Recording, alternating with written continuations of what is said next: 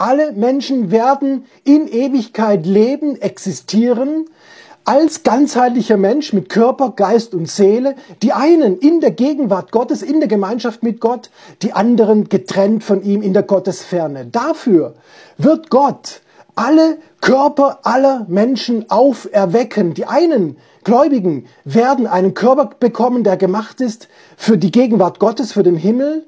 Die anderen werden einen Leib, einen Körper bekommen, der gemacht ist für die Gottesferne, für die Hölle.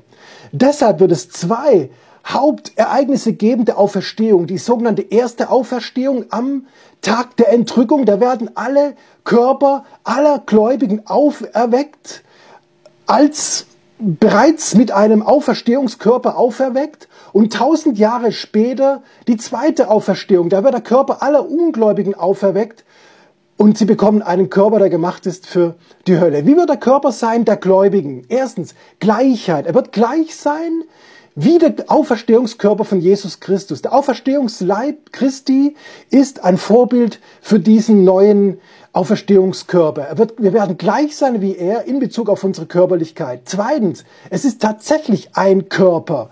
Wir werden keine Geist- oder Luftwesen sein, sondern es wird ein substanzieller, materieller Körper sein, nicht aus Fleisch und Blut, aber aus Fleisch und Gebein. Dieser Körper wird aber nicht den physikalischen Gesetzen dieser Welt unterworfen sein. Ein Vorbild ist, wie gesagt, der Leib, Auferstehungskörper Christi. Drittens, es wird ein geistiger Körper sein, der eben gemacht ist für den Himmel. Dieser Körper ist für, von der Erde und für die Erde gemacht. Der geistige Körper ist gemacht im Bild des Himmlischen für die himmlische Welt oder beziehungsweise für die neue Erde. Und äh, viertens, er wird geschlechtslos sein. Denn es heißt, wir werden sein wie die Engel, das bezieht sich auf die Geschlechtslosigkeit.